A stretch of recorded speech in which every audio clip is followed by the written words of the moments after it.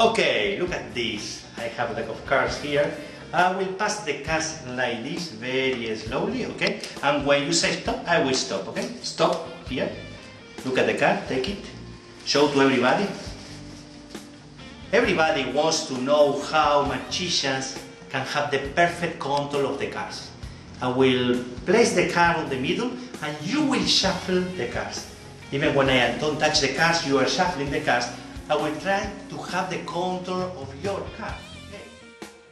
I have some money here. Look at this. Look at this. Here I will put some money. Uh, I will bet maybe five dollars okay. Good. Pay attention here.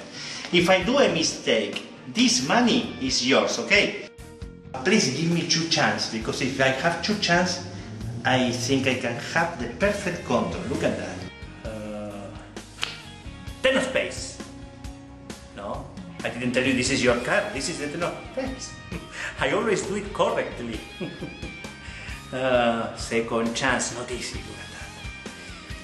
Here. Yes.